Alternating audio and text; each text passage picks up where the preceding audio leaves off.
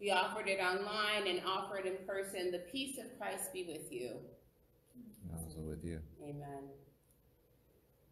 It is a blessing to be able to be together. Today's scripture picks up also in the Gospel of John. We have been journeying and moving through this journey over Lent, this very peculiar Lent. Someone wrote, This is the lentiest Lent we have ever imagined. we are giving up way more than we could have imagined, and yet we are here. Next Sunday begins Holy Week. It is incredible. This way of the Christ way and journey towards the cross has been our theme. It's been our theme as we have wandered and listened to where Jesus is each of these passages. We started off with the wilderness. There we discussed Christ's temptation by Satan and the ways in which temptation comes to us, often when we are most weak, most vulnerable. We looked at what it meant for the way of Christ to be one of wondering, as Nicodemus came and wondered about this Jesus, wondered what it might mean to be born again, born from above, born once more, wondering ourselves what it might mean to step out of the shadows and further into the light of our calling to follow Jesus. Last week, we talked about witnessing as we witnessed and watched the man born blind be healed not for the sake of his own self alone, but so that the crowds too could be transformed by what they witnessed in their journeying, in their seeing, in their acknowledging this Jesus Christ. Today we finish the way of the Christ as weeping. I'm going to ask a question, and I know you can't answer it live, but I invite you into a space to remember when is the last time you wept? I mean, really, truly wept. I want you to think about that for just a few seconds.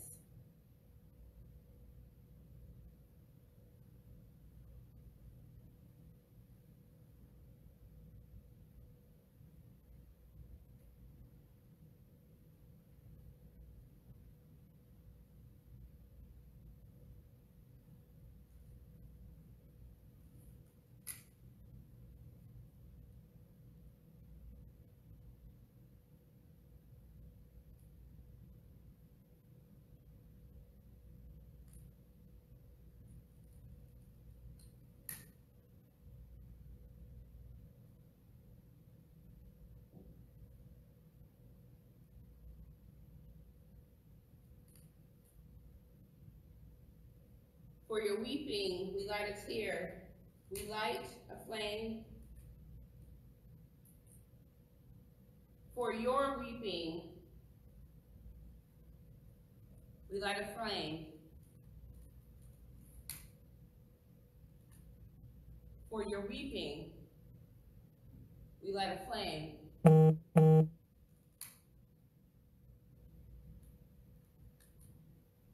For your weeping, we light a flame.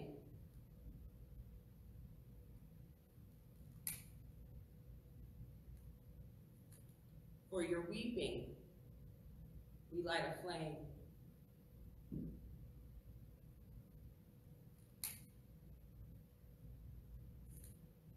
for your weeping,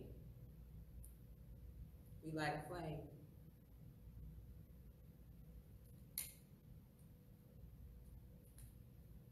For your weeping, we light a flame.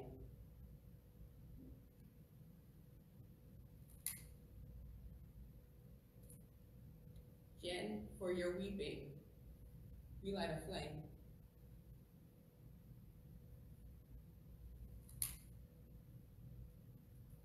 Michelle, for your weeping, we light a flame.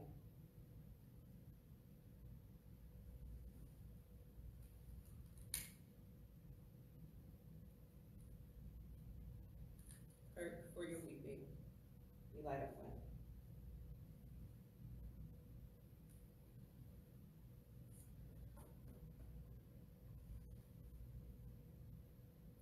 When you think about the last time you wept, were you alone? Were others there?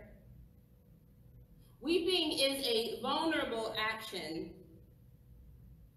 Novelist Sarah Ockler writes in her novel, 20 Boys Summer, weeping is not the same thing as crying. It takes your whole body to weep. And when it's over, you feel like you don't have any bones left to hold you up.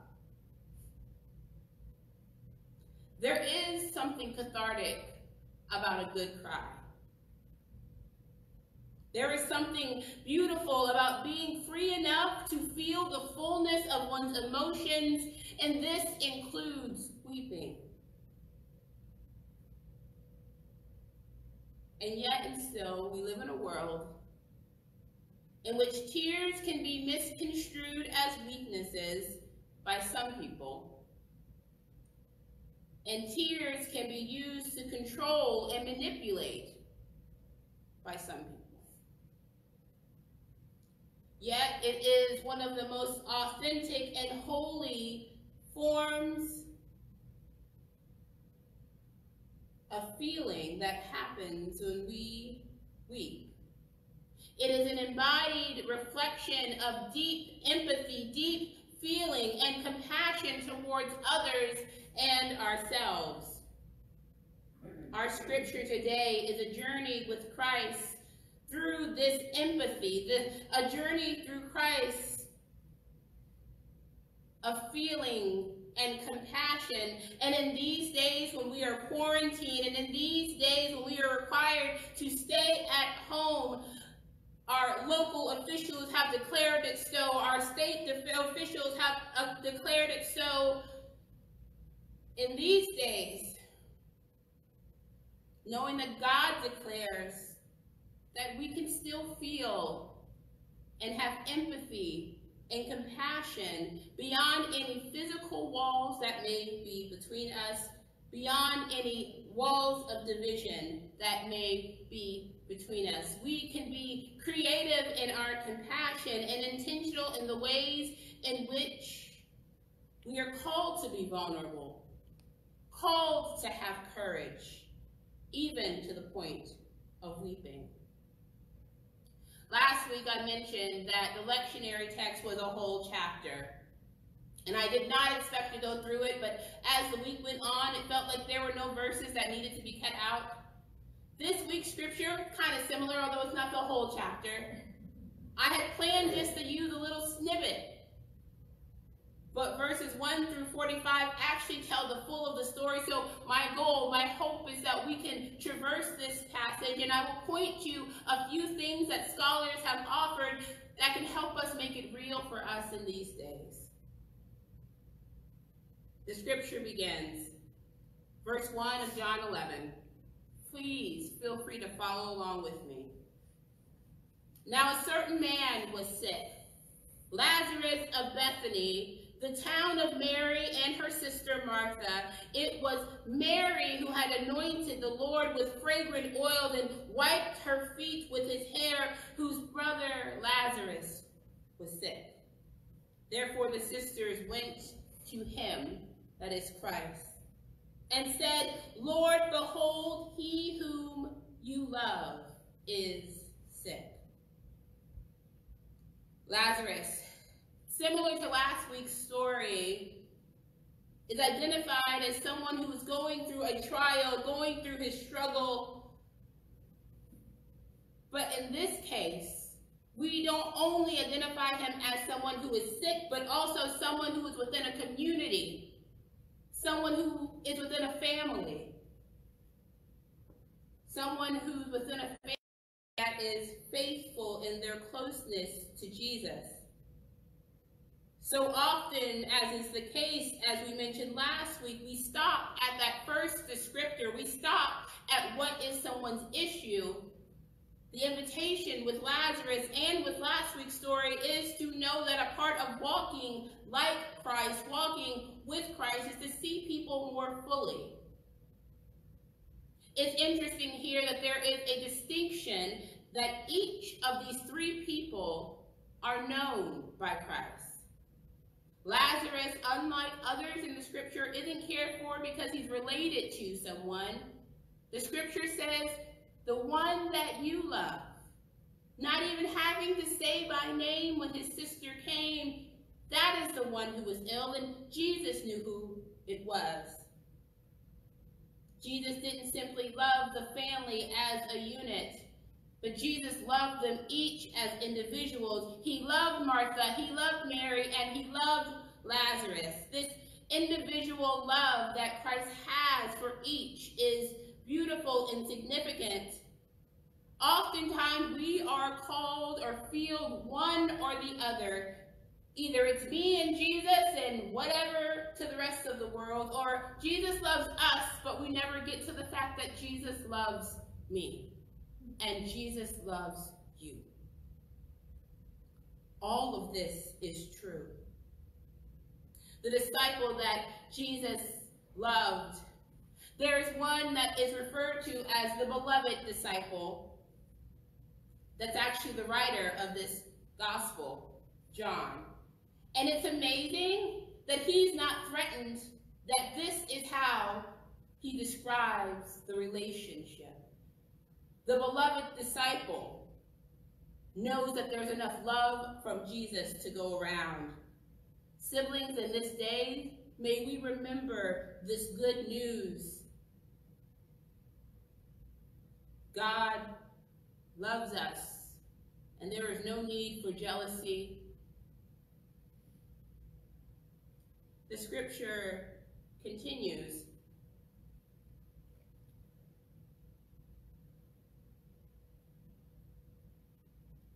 that Jesus stayed for two more days. It is interesting, truly interesting, that Jesus does not immediately move. This brings about a bit of anxiety for us often when we hear that part of the scripture. I can only imagine the fervor for which Mary runs and says, Lord, behold, the one whom you love is sick, and I can only imagine that she thought, let's get going, Jesus. But instead it says he stays for two more days, and it seems so strange. But it's amazing.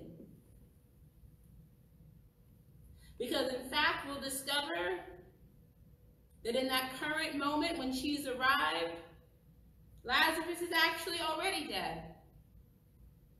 And Jesus' timing, deliberate, not rushed by humanity, will be right on time.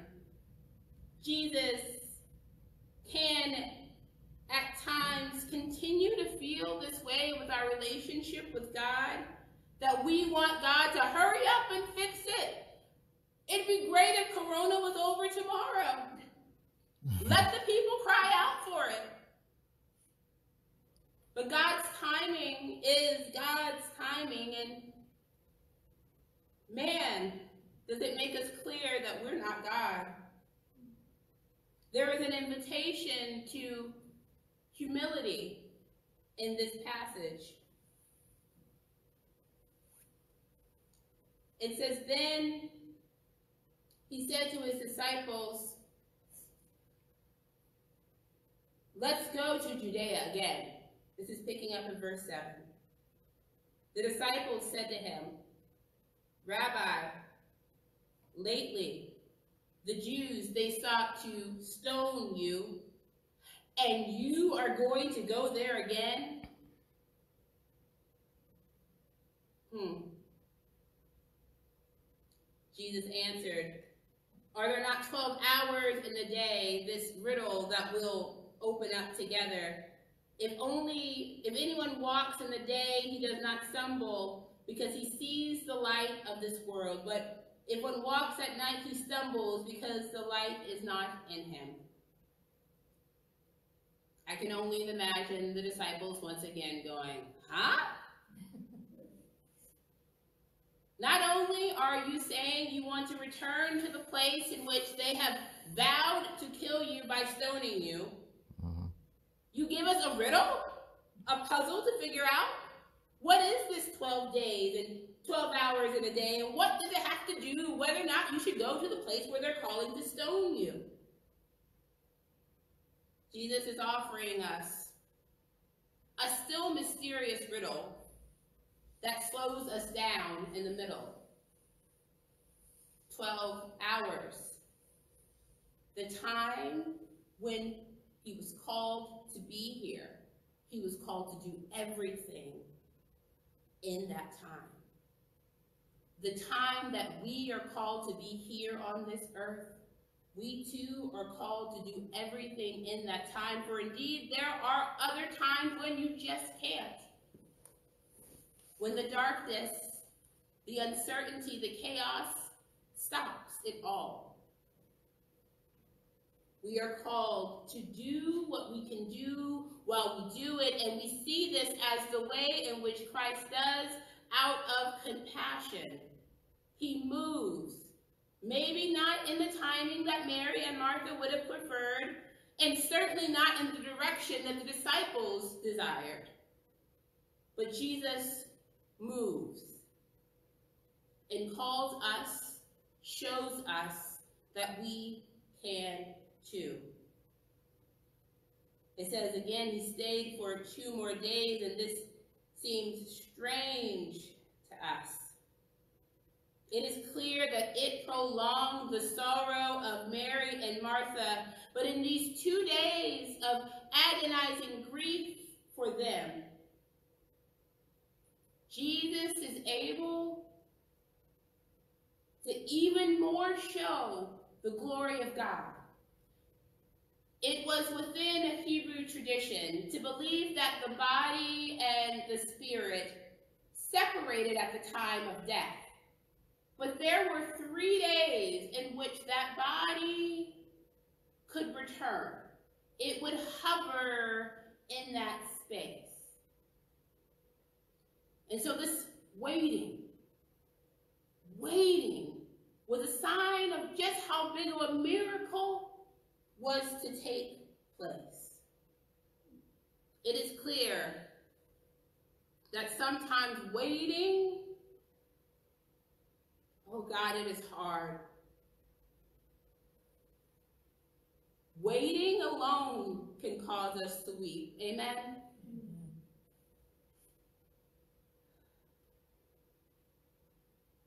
There are times, dear ones, siblings, when we are called to wait and we don't want to. We're afraid that we may go under. It may be the end. It may never happen. It may only be despair, but all we can do is wait and weep. And that is not unfaithful. To be clear, that is faithful at times.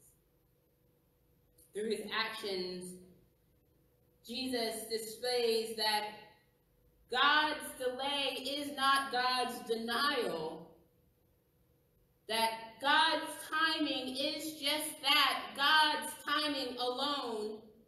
And what feels like eternity for us is no time at all for God. And while God does not desire our pain, God does not need us to feel pain. This life is not called to be one without it. The invitation is to know that God is always with us in it. Jesus courageously decides to go to Judea and Jerusalem and discovers there, speaks to the disciples in a way that has them a little bit baffled as to why they even should go that way. They wonder initially, Jesus says, our friend, our friend has fallen asleep.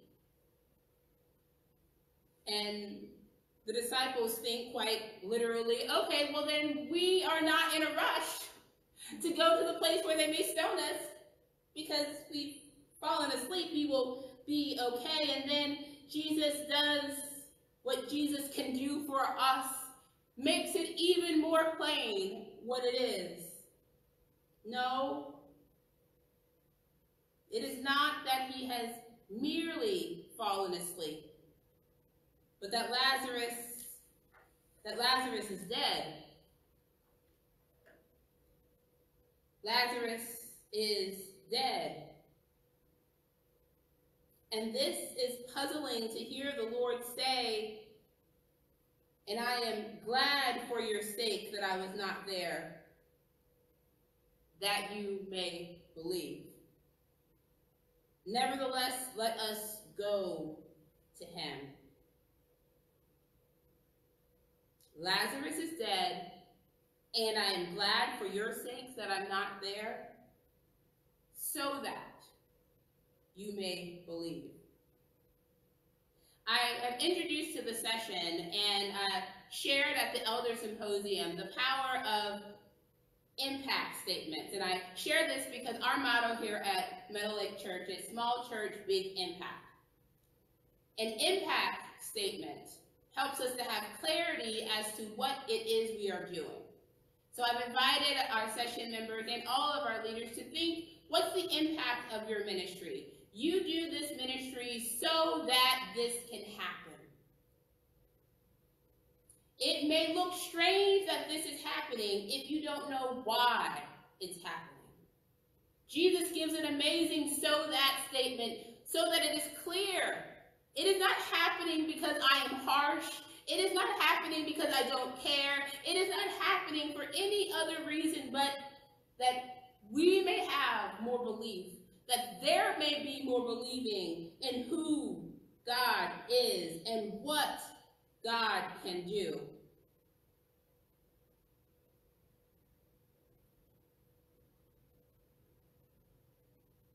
It's still hard to hear. Amen? Even if you know that.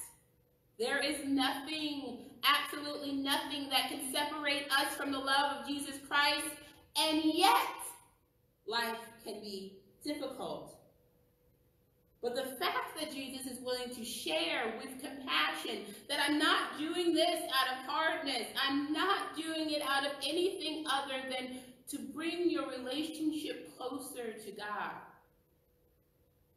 There is compassion and there is empathy that is driving Jesus' action. So when Jesus came, it says, Oh, oh, one thing I want to share. Thomas the twin. People oftentimes wonder, why is he called Thomas the twin? So in Hebrew and uh, at the time when Jesus was alive, everyone, every Jewish person had two names. They had a Hebrew name and they had a Greek name. So his Hebrew name was Thomas. His Greek name was Didymus, which meant twin. And it is believed that of all the disciples, he looked the most like Jesus people would confuse them and think that he was Jesus. Therefore, you can really understand why Thomas is wondering, why do we need to go back to that place? where I might get confused to you. But you also see the closeness that Thomas has with Christ, that once it is explained, once it is made clear that this is to glorify God, that this is that you may believe even more, Thomas's bold faith changes and he says to his fellow disciples, then let us also go that we may die with him. That is Christ. Let us go that we may die with him. That kind of devotion, that kind of compassion,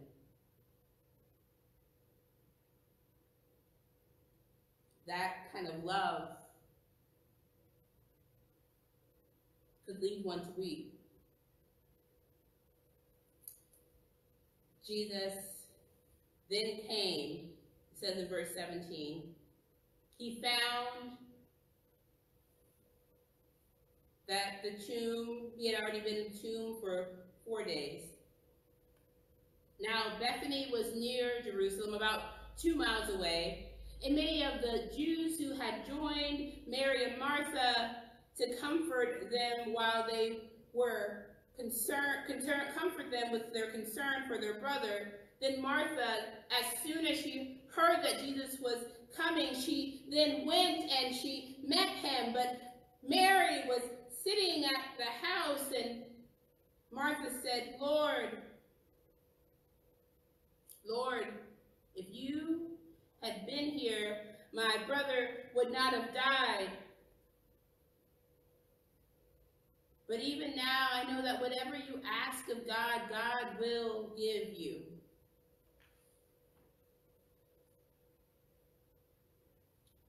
Four days he had been in the tomb.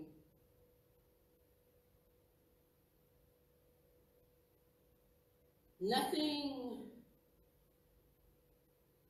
had ever been shown to believe that one could live and be arisen past that. Four days. Four days, a procession comprised of relatives and friends and hard time, those who came who were hired mourners even came to the graveside and mourned and cried and wept and sat and prayed. And when I think about the fact that right now, I have seen testimony of testimony of folks who just cannot, because of where we are in the world, sit next to their loved ones, just to hold their hand,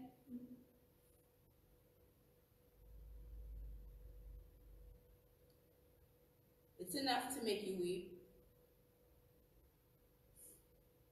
Sitting at the house, sitting at the house, this oftentimes uh, reminds folks of the earlier Mary and Martha story of one being the doer and one being the sitter. Mary sits. There's a belief that in the midst of such travesty, in the Hebrew tradition, there was an understanding that grief was not a head experience as we often expect it to be in our American society, but grief was a whole body experience, and there was times in which one just had to sit because the body could do no more. She sits and in that space grieves just as she is called to with her community around her. But yet we hear the words of Martha. You hear her saying, Lord, if you had been there, my brother would not have died. But yet even now I know that whatever you ask is possible. And then Jesus said to her, your brother will rise again. And Martha said, knowing and believing, beyond the, there was a Pharisees and the Sadducees had this kind of a, a, a tiff over what happens after death. And the Pharisees believed that one would rise again at the appointed time. And so Martha recognized what was and says, Yes, I know he will rise again at the resurrection on the last day. But Jesus says to her, I am the resurrection and the life. He doesn't say, I will teach you about resurrection and life. He doesn't say, I will be some resurrection or life, or I will point to you. He says, I am the resurrection and the life. And those who believe in me, they will not die. They shall live. And whoever lives and believes in me shall never die. And then he invites Martha into a space of accepting. Do you believe this? And in that moment, in the middle of her real grief, she has to decide, what do I believe? And she says, Yes, Lord, I believe that you are the Christ. You are the Messiah. You are the anointed one. You are the one who has been sent, the Son of God who has come into the world. I am the resurrection and the life. Apart from me, there is neither resurrection nor life. But with me, new life is possible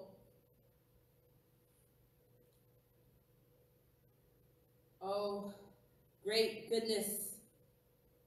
What a blessing to know that in Christ there is new life possible.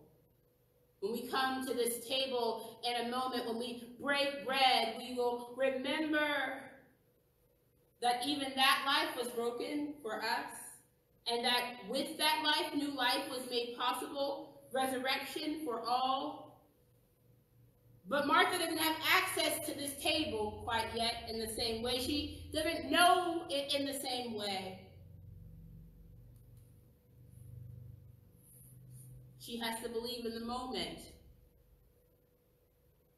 that Jesus is offering words that she cannot even fathom.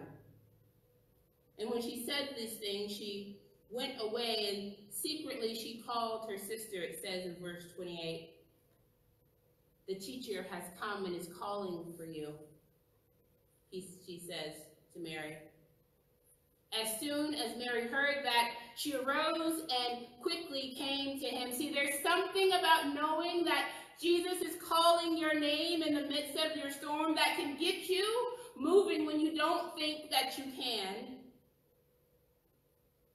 Then the Jews who were in her house and comforting her they rose up quickly and they went out following her. They assumed that, oh, she must be getting up to go to the tomb to weep. And then Mary came and saw him. She fell down to her feet and said to him words that sound familiar. Lord, if you had been there, my brother would not have been dead. This says to me that Mary and Martha, in the middle of their distress, had been talking. What could have been different? What would have been different? Y'all know that kind of weeping, right? When you're in the middle of what could have been a different way? What might have changed everything? And what they knew consistently is that Jesus would have made a difference if he was there.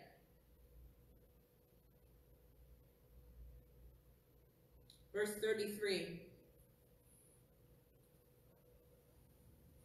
Therefore, when Jesus saw her weeping, and the Jews who came with her weeping, he groaned in the spirit and was troubled. And he said, Where have you laid him? And they said to him, Lord, come and see. I find this remarkable that the Lord chose to be so true and honest of his humanity that the one who knows all needed compassionate people to lead him to where he needed to go. Lord, come and see. And in that, that invitation, at that moment, Jesus wept. With compassion and a care for those who around him who were heartbroken. And then the Jews said, See how Jesus, he loved him. And some of them said, This cannot, could not this man who opened the eyes of the blind, that is the story that we offered last week, open the eyes of the blind, also have kept this one from dying? Then Jesus again groaned in himself and came to the tomb. It was a cave, and a stone was lying against it. A couple things. I just want you all to know how powerful it is to know that Jesus, God incarnate, sees our tears, hears our tears, hears our weeping, is touched by our tears, acts to change the situation in compassion for our tears. Know that your weeping is not in vain. That your weeping is a prayer. That your weeping speaks to God. No matter who or how or where you've heard, there could be mocking of tears. This is particularly true to our men. Men, siblings, brothers. Jesus wept. Your manhood is not tied around your inability to feel. A part of that makes you a human, a man, is that you can feel. The Jews who came along were weeping. Jesus was weeping. He saw and then he wept. The verb that is used here twice that says groaned is an unusual verb.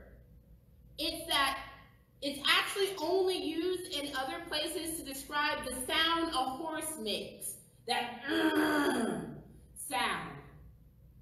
There is ang and anger and, and, and upsetness of how much pain can be caused by death. And Jesus responds this way out of empathy and compassion.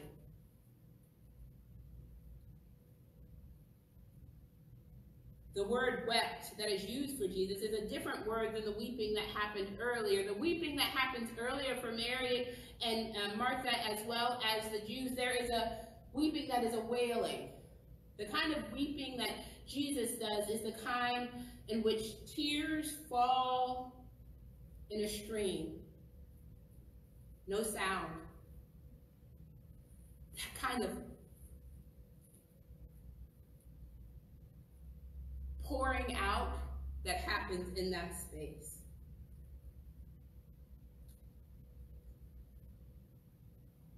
Verse 41 picks up. Then they took away the stone, the place where the dead man was lying. I want to note here that the they that took away the stone, that that day um, that that day was Mary and Martha. Jesus declared and asked that the stone be taken away. And they were concerned about the stench. They were concerned He's been in there, Lord, for four days. And Martha said, Lord, by the time of this, there is a stench. There is a stench from being dead for four days. And Jesus said, Did not I say, do you believe so that you may see the glory of God?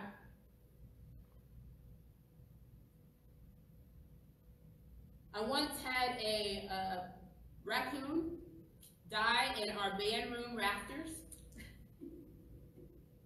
It only took one day of that stench for everyone to know that something was wrong. But fearlessly and compassionately, Jesus asked them to go through the stench to see the glory of God. Another interesting thing about stench and smell is that that is the sense that is most tied to memory. So consistently, the smell of death would be a reminder of what was taking place in this moment. The scripture closes, our passage closes with this. Then they took away the stone from the place where the man had been lying, and Jesus lifted up his eyes and said, Father, I thank you that you have heard me, and I know that you always hear me, but I say it because of the people who are standing by. I say this that they may believe that you sent me. Those who were with us last week remember those same Jews, that group of Pharisees and the wider community were questioning, is this person from God or is he a sinner? And Jesus is trying his best to make it clear and to witness to everyone, for your sake I speak out and say thank you with gratitude, already knowing what God is capable of doing siblings, in the midst of our situations where we may too be weeping, I invite you into the place of in advance saying thank you for God for moving, for doing, for changing in the ways that offer more wholeness. Right in the middle of your situation. To do so is to step into your prophetic identity. It is to step into your place as one who walks the way of Christ. Then he took the stone from the place where it was laying. Jesus gave her a promise and he offered his attention to her and had her confess her faith. And then she was invited to be a part of that act of faith in the moving of the stone, even when she wasn't sure it was going to make a difference. And when these things had been done, he cried out in a loud voice, not because the strength of his voice is what mattered, because I'm certain if he would have whispered, the same thing would have happened, but it was so that those around could hear, Lazarus, come forth. And he who had died came up, bound hand and foot in his grave clothes. His face was wrapped with cloth. And Jesus said to those there, Loose him and let him go. He cried with a loud voice, Lazarus, come forth. Simply, a direct imperative, Lazarus, come forth. Be directed by me in the midst of death. Be directed by me. Hear my voice. Be my sheep. Come when I call Lazarus, come forth.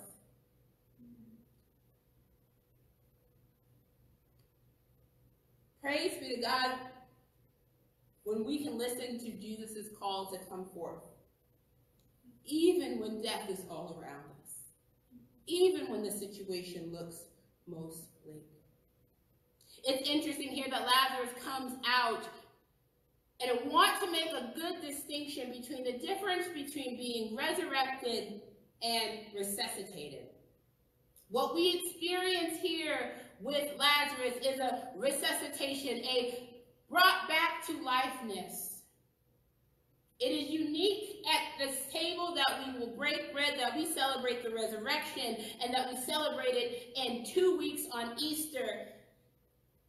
Jesus came out of his grave clothes. They were left behind in the tomb. Lazarus comes back in himself with those same clothes on because at Lazarus will die again.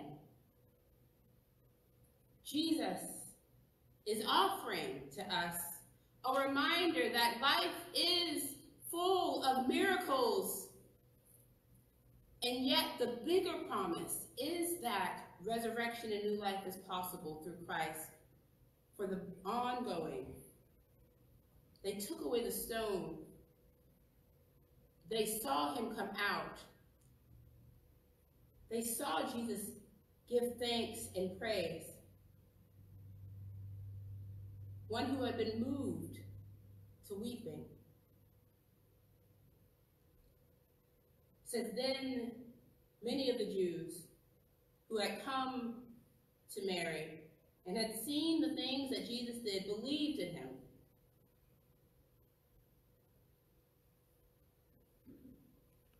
The compassion of our Lord and Savior, even when we are the hardest to convince, to weep on our behalf, to heal on our behalf, to bring wholeness on behalf is extraordinary.